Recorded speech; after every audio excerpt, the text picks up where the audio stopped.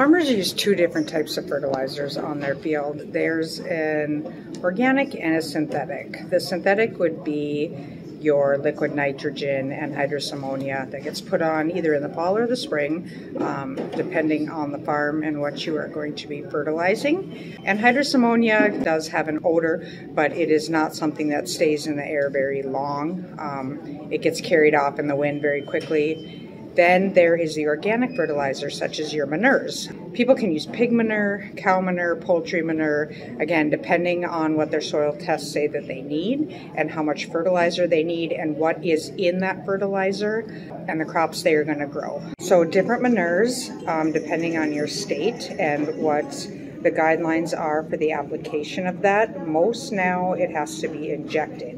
Uh, before you could put liquid on top, but now it does have to be uh, injected into the ground.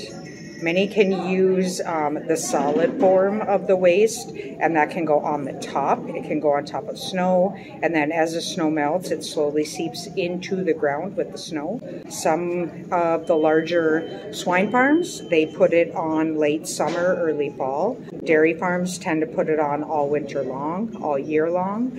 Uh, you'll see them going out. That does tend to have an odor a little bit longer.